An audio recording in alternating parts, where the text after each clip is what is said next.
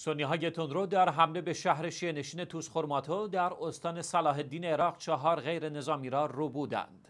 به گزارش شیویوز به نقل از خبرگزاری عراقی سومری نیوز سنی های تندروی داعش به شهر توس خرماتو واقع در استان صلاح الدین عراق یورش بردند.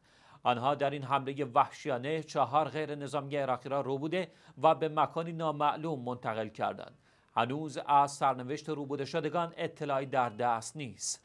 گفتنی است با اینکه سنی های تندروی داعش دیگر در عراق بر شهری تسلط ندارند اما در بیابانها و کوهها زندگی می کنند و با کمین بر سر راه نظامیان و غیر نظامیان بمبگذاری و عملیات انتحاری همچنان در برخی از مناطق امنیت را با مخاطره روبرو می کنند. از طرفی نیروهای امنیتی عراق در مناطق مختلف این کشور و در عملیات های متعدد در صدد پاکسازی کامل عراق از لوس تروریست ها هستند.